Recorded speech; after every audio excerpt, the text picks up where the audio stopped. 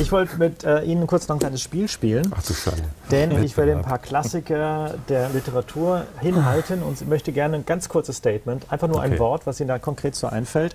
Immer zuerst Sie und dann du. Die Buddenbrocks. Sensationell. Entwicklungsroman aus dem 19. Jahrhundert. Beginnt das 20. Jahrhundert damit. Spannend zu lesen, humorvoll. Hat man vor den Deutschen gar nicht so zugetraut. Jedenfalls nicht sehr viele, wie vielleicht Lichtenberg. Sensationell. Ich habe es nicht gelesen. Tut mir leid. Also ein Klassiker, den ich aber tatsächlich noch lesen wollte. Also Okay, kann ich empfehlen, ich gebe ihn dir nachher mit. ja, gerne. Nächstes, der Duden. Was fällt euch ein?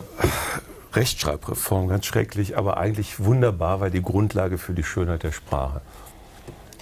Ja, ich, also wir hatten damals immer so einen ganz alten Duden noch. Da waren dann, glaube ich, mittlerweile auch ganz viele Worte verändert worden, als ich noch zur Schule ging. Und wir hatten aber immer noch diesen alten Duden, äh, den ich dann zu Rate ziehen musste. Ich bin jetzt mit der neuen deutschen Rechtschra Rechtschreibreform auch nicht so. Wirst du es Äh, noch nachholen oder, oder ist es schon Ja, ich habe eine Tochter, die geht jetzt zur Schule. Da werde ich wohl nicht umhin können. Aber ansonsten schreibe ich einfach, wie es mir gerade einfällt. Apropos Tochter, Harry Potter. Äh, Ich habe mich lange gesträubt und bin jetzt schließlich doch bekehrt. Finde es auch toll. Übrigens auch die Verfilmung ganz schön. Also jetzt Weihnachtszeit, Adventszeit, Harry Potter, selbst für einen Erwachsenen klasse. Markt, alles prima. Vielleicht nicht so prima und trotzdem bezaubert. Einfach gut. Und es wird gelesen. Ja, geht's denn noch besser?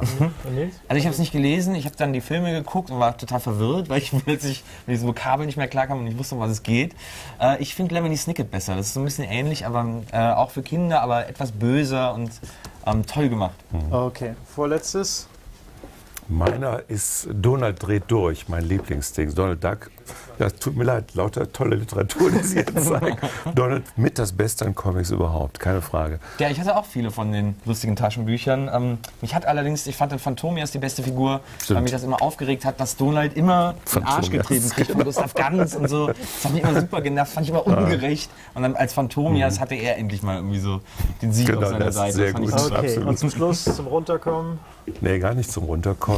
Ja, geht alles mit los. Nackte Frauen, Liebe, viel mehr drin, als man glaubt. Und wirklich nach wie vor ja, die Grundlage Zivilisation. Okay. Ich habe ja mal im Konfirmationsunterricht äh, der Pfarrerin gesagt, könnte das nicht sein, dass die Bibel sowas ähnliches ist wie Tausend eine Nacht, so Geschichten, die sie sich damals ist- erzählt haben und die dann aufgeschrieben wurden und da bin ich dann fast rausgeflogen. Super. Es kein Märchenbuch, hat die dann gesagt. Doch, Okay. aber gut. Prima, vielen Dank fürs Kommen. Hat Spaß gemacht, mit euch zu diskutieren. Und gerne mal wieder.